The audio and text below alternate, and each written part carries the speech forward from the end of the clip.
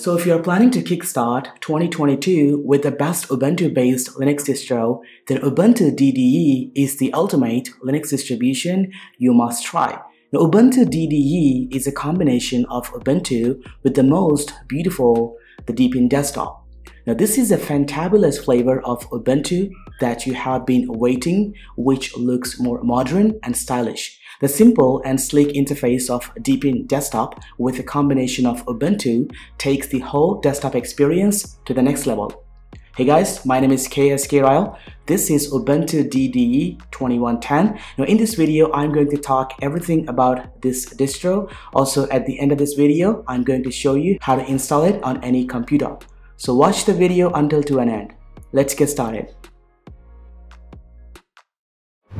Alright, the moment you log in into Ubuntu DDE, this is the home screen you would be greeted and this is the wallpaper you get to see which looks amazing. Now before talking about the UI and its features, let me go to settings and show you guys the system information. Now as you can see by the time of recording this video, Ubuntu DDE is based on Ubuntu 2110 the latest version. You can also use the Ubuntu 2004 LTS version to get supported for 3 plus years.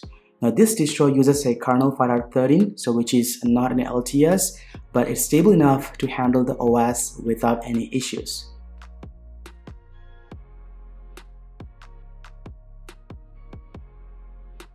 Ubuntu DDE comes with a customizable dock that is present at the bottom.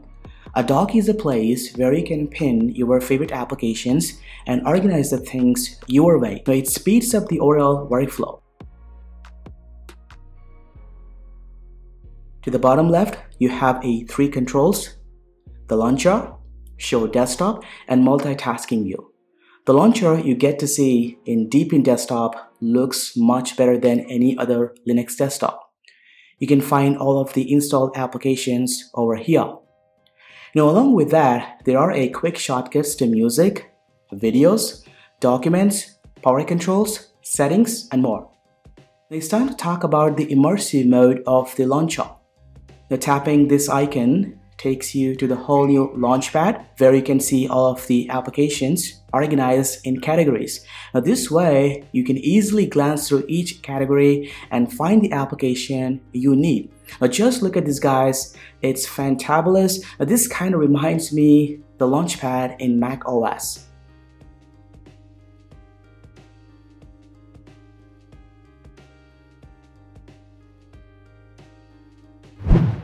To the bottom right, you get to see a few system controls. Uh, there is an option to control the sound, manage internet connections, and more. You can also hide or unhide these toggles based on your liking.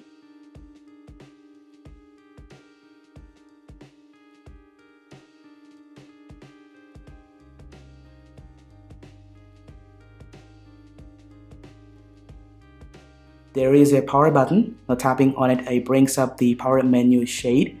Now from here, you can choose to log out, reboot, or shut down the computer. Also, you can find a shortcut to the trash and most importantly, the notification center. Tapping this icon takes you to the notification center where you get to see all of the system notifications.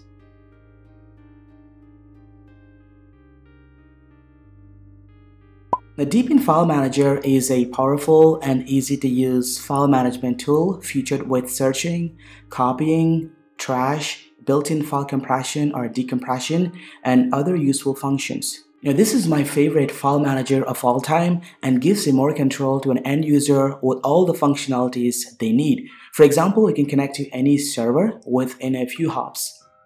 The UI of the file manager reminds me a files application in iPad OS. The buttons, labels, folder icons, search bar, everything looks super fancy. With Deepin Desktop, the settings application looks completely different if you compare it with other desktops. It is a unique settings application that can let you tweak the system. The three-column layout gives you more information about each setting you use.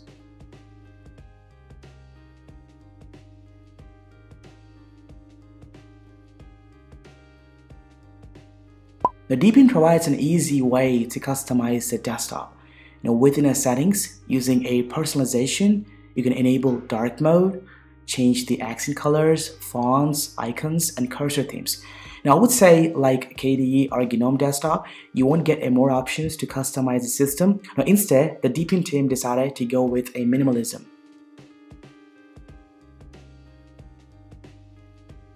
Now, speaking about the dark mode, the Deepin desktop looks much better than any other Linux desktop out there. Now each and every built-in application along with the whole system looks magnificent with the dark theme.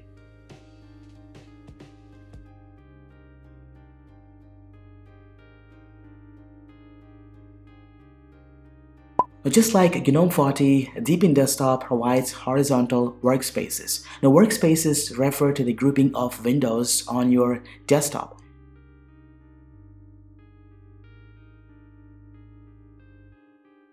Now you can create a multiple workspaces which act like a virtual desktops. It will display a currently used workspaces plus an empty workspace. To jump into a workspace overview, you can tap on multitasking view. Now this shows all of the workspaces. From here, you can glance through the applications running in the background. Now to create a workspace, you can tap on the plus button. Now Deepin provides a shortcut to switch between these workspaces seamlessly. Now simply hold the super key, then press left or right arrow keys on your keyboard to switch between them very easily.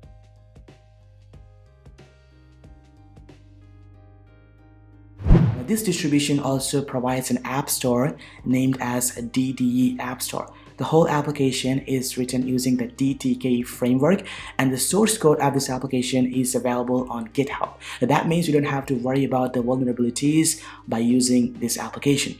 Now most of the Deepin applications you get out of the box can be updated from here. Now using this application you can also search and install any third-party applications. For example, you can search for GIMP, the popular image editor, and install it. Now for programmers, you can install your favorite IDE from here just with a one click. I don't know from which source the App Store relies on, but I wonder it may be using a both Flatpak and Snap to install most of the third-party applications.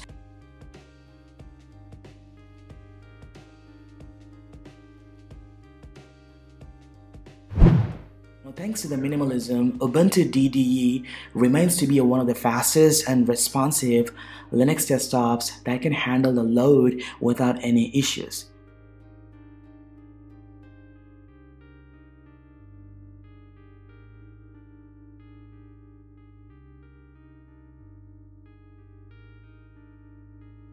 I did not face any major issues so far, but I have noticed there is a weird problem with the KWin Window Manager. The minimize button seems to be unresponsive and won't let the app minimize to the dock, which is sort of a bummer. I don't know whether it's a glitch or a problem with the Deepin desktop.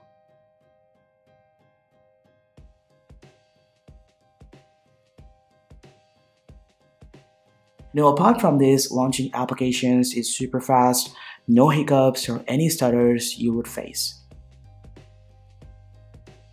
Now, overall, I would say Ubuntu DDE 2022 is the best and fantabulous Linux distribution which provides a Mac OS look-alike experience. And don't worry about any spyware or malware or any such things like that. Ubuntu DDE seems to be a transparent about the system usage when it gets compared to other Deepin based distributions. So what do you guys think about it? So let me know in the comment section down below. Now it's time to show you guys installing Ubuntu DDE on your computer. So go ahead, grab the latest version from the link in the description. The first link takes you to this page.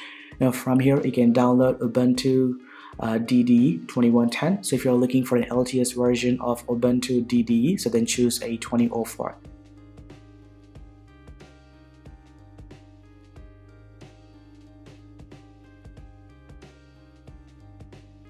Once it's done, burn the ISO to the USB drive using a Rufus. In my case, I'm installing it on a UEFI based machine.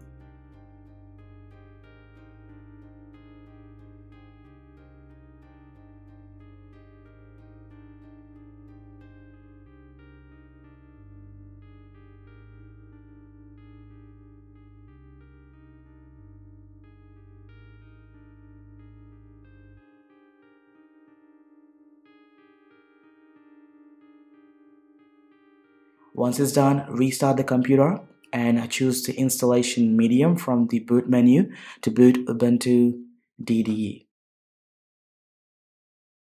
Once it's done, you can see the live session of Ubuntu. Now here, choose to install Ubuntu option. Then select the system language and click on next. Now choose region, time zone, and keyboard layout.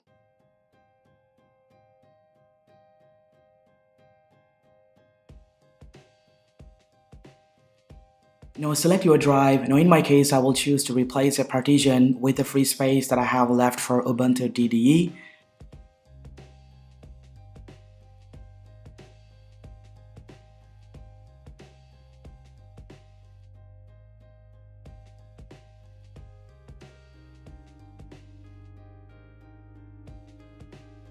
The installation will take some time depending on the writing speeds of your drives. Now once it's done, reboot the computer and eject the thumb drive.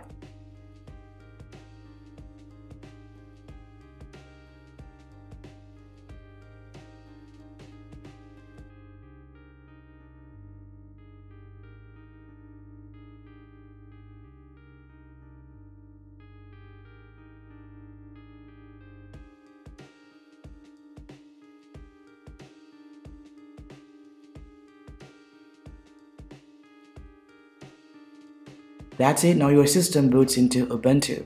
Now if in case you see any issues in regards to python.boost error on UEFI machine, try using USB 2.0 ports and create a partitions manually for boot EFI, root and swap. Now this could fix the problem. And that's pretty much it. Now if in case you like this video, hit the thumbs up button down there and don't forget to subscribe to this channel and consider hitting the bell icon to receive the post notifications of my latest videos. Thanks for watching this video. This has been KSK Royal signing off.